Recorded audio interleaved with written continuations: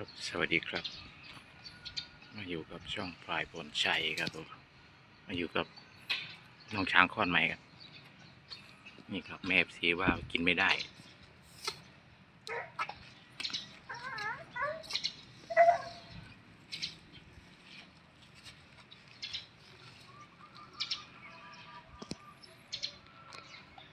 เนี่ยมีFC บางท่านถามว่า น้องกินนมไม่ถึงหรือน้องกินนมไม่ได้ครับ มาดูที่คลิปนี้ได้ครับครับผม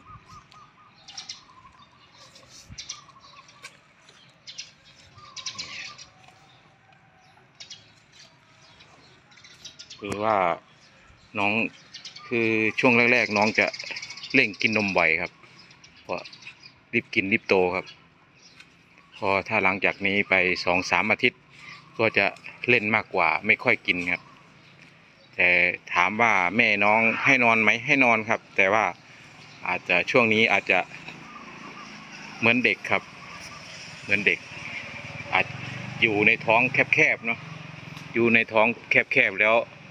ออกมาที่กว้างอาจจะไม่กล้านอน อาจจะมีเสียวบ้าง ไม่เหมือนอยู่ในท้อง ทั้ง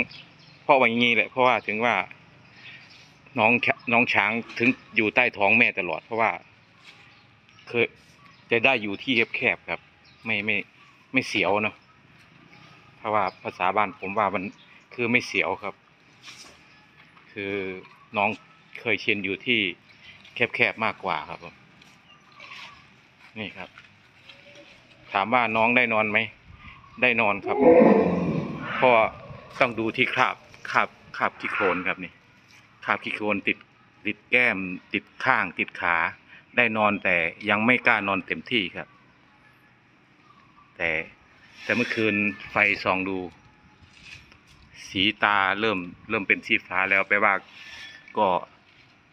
มองเห็นได้แล้วครับ มองเห็นแล้ว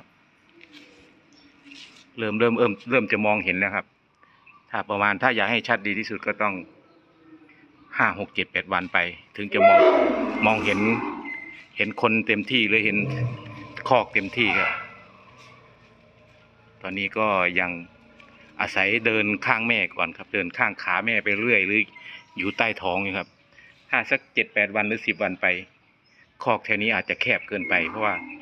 น้องเริ่มเริ่มไปไกลครับ บางครั้งก็ยืนหลับก่อน ถ้าแบบให้แบบง่วงเต็มที่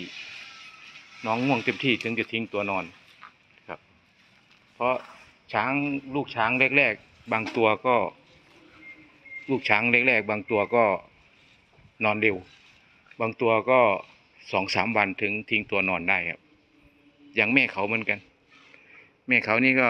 เป็นห่วงลูก บางตัวก็นอนตั้งแต่วันแรก บางตัวก็เดือนหนึ่งหรือสองสามอาทิตย์ถึงจะนอนครับผมนี่แหละครับ ถ้าถามว่าน้องกินนมได้ไหมกินถึงครับ ต้องอยู่ช่วงแรก ๆ ครับ ที่เปิดเข้าใหม่ๆ กินเสียงจับๆเลยครับ น้องช้างจะเป็นแบบนี้แหล้วครับ จะ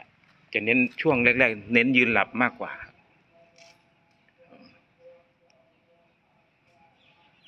ช่วงแรกๆจะเน้นยืนหลับครับ ตอนแรกๆคลอดมาน้องตัวอ้วนตัวกลมครับ เพราะเพราะว่าตอนนั้นยังยังอยู่ในท้องยังมีน้ำน้ำเลี้ยงในท้องอยู่เนาะพอตอนนี้คลอดออกมาอาจจะ ผอมๆบ้าง เพราะว่าน้ำเลี้ยงตรงในนั้น ตรงในท้อง จะทำให้ พอมาถูกอากาศปุ๊บก็เนื้อหนังจะแห้งคืน นี่แหละถึงบอกว่าช้าง ถึงบอกว่าช้างทำไมแรกๆเร่งกินนม เยอะไม่ใช่ว่าช้างลูกช้างไม่มีนมแม่ช้างไม่มีนมนะครับ เพราะว่าเขาจะเร่งให้ตัวขึ้นตัวเร็วๆครับเร่งกินตอนนี้ครับ ถ้าอีกอาทิตย์สองอาทิตย์หรือเดือนหนึ่งไปก็เริ่มเล่นมากกว่า ไม่ค่อยกินนม ยังยังนี่ครับ ก็ก็นอนเหมือนกันนะครับ นอนเพราะว่าเป็นมีคราบอยู่ข้างๆ อาจจะนอนไม่นานนะครับพอช้างตัวเมียอาจจะไม่ไม่นอนเร็วเหมือนช้างช้างพลายช้างตัวผู้เนาะยังกลัวครับ แล้วก็เดี๋ยวพาแม่ FC ไปดูอีกฝั่งหนึ่งครับ นี่เป็นช้างพลาย เขาจะนอนเร็วครับ เขาจะเขาจะไม่กลัวอะไร นิสัยของช้างช้างพลายก็เด็ดเดี่ยวตั้งแต่เล็กเลยครับนี่ครับนิสัยนิสัยช้างพลายนิสัยช้างตัวผู้เด็ดเดี่ยวครับ ดูนอนยังยังไม่นอนอยู่กับท้องแม่ครับนี่ครับมานอนอยู่ข้างหน้านอนเชือกเดียวตัวเดียวเลยนี่ครับนิสัยช้างอาจจะไม่เหมือนกันครับ ลูกช้างตัวผู้เด็ดเดี่ยว ไม่เหมือน น้องฝั่งนู้น น้องฝั่งนู้นเป็นเป็นลูกตัวเมีย ก็เลยอาจจะไม่กล้านอนเท่าไหร่ นี่ครับนอนแล้วครับ นอนตั้งแต่เมื่อคืน แต่น้องน้องตัวเมียฝั่งนู้น น้องเชือกพังตัวเมียฝั่งนู้น อาจจะยังไม่กล้านอนเท่าไหร่ครับ อาจจะวันสองวันอีกนอนแน่นอนครับ ทั้งนอนทั้งแม่ทั้งลูกครับเพราะเขา ความคือพัฒนาเขาอาจจะช้าไปนิดนึงหรือเขากลัวมากส่วนมากช้างช้างเมียครับ นี่ครับ น้องน้องพลายเชือกนี้คลอดวันที่สามพร้อมกันเขาก็นอนแล้ว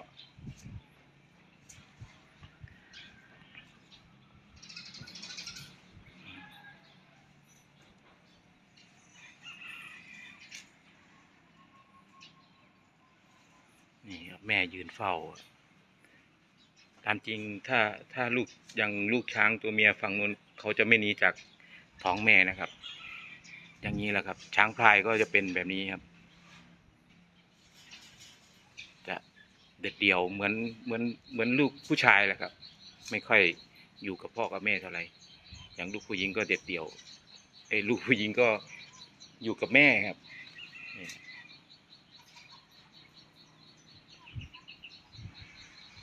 นี่ครับ บอกว่ากินนมอิ่มไหมกินกินอิ่มครับ ถึงนอนครับ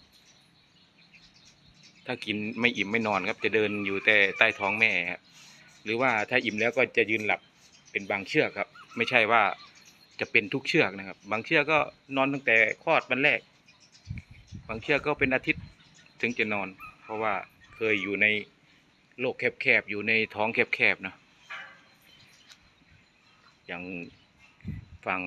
น้อง น้องฝั่งนู้นครับน้องน้องตัวเมียฝั่งนู้นครับก็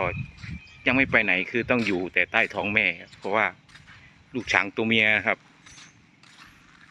ไม่ไม่คือลูกช้างตัวเมียอาจจะใจไม่ใหญ่เท่าไหร่ครับ ถามว่านอนไหมผมว่านอน เพราะว่า ผมผมสังเกตว่าข้างน้องข้างตัวน้องช้างนะเพราะว่าเมื่อคืนก็ไม่ได้เปิดไฟครับ ปิดไฟไว้ครับ ก็เลยไม่ได้ไม่ได้เห็น แต่ว่าช้างน้องช้างนอนไหมนอนครับ ดูที่ข้าง ดูที่สีข้างนี่ก็ได้ครับนี่ครับเป็นคาบคาบขี้โคลนคาบขี้โคลนนี่คือ น้องนอนครับ นี่ อย่างตรงนี้ครับ แก้มนี่น้องนอนเหมือนกันครับ แต่เมื่อคืนมาลุกมาก็เห็นใบหูฝั่งนี้ เปียกครับเพราะอาจจะนอนทับเยี่ยวแม่เนาะนี่แหละครับ ลูกช้างตัวเมียอาจจะไม่หนีจากแม่มาง่ายครับ ถ้าลูกช้างตัวผู้เขาจะไม่นอนกับแม่เลยครับ อาจจะไปหนีไปนอนที่อื่นครับ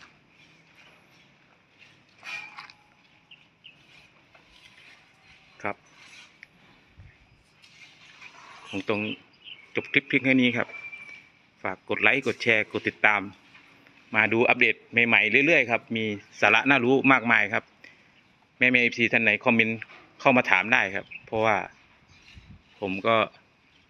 เลี้ยงน้องช้างมาหลายเชือกมากครับ ก็ในครอบครัวที่เห็นนะครับ รวมๆแล้วก็เป็นสิบแล้วครับ ครับผมครับ ขอบคุณครับ สวัสดีครับ